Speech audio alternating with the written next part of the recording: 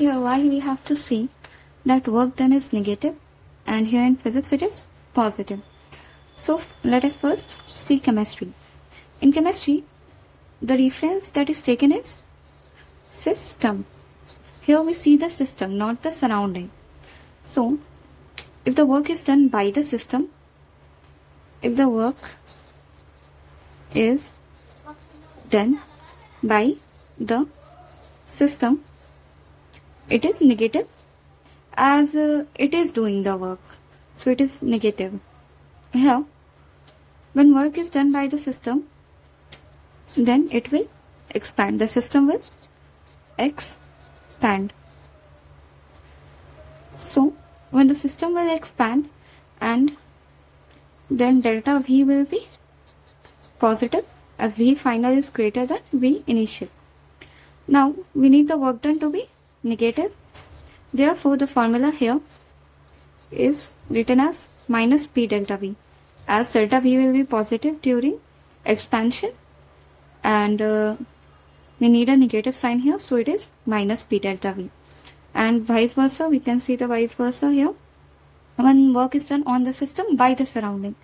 So when it was, when work is done on the system then we can see that it contracts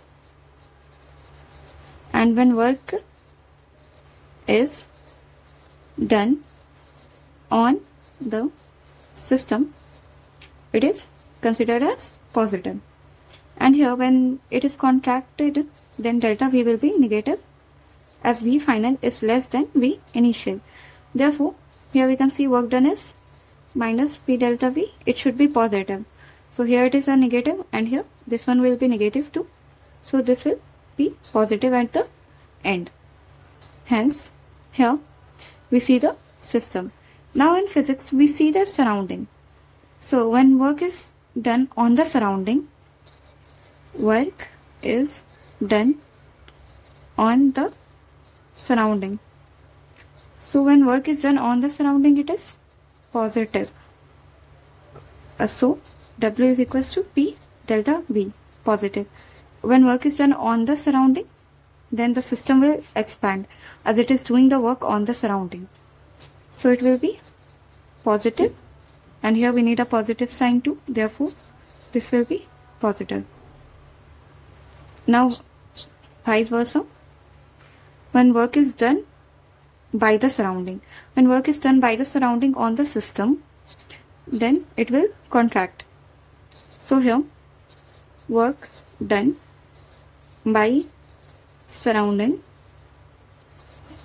will be negative as it is done by the surrounding now work done is plus P delta V.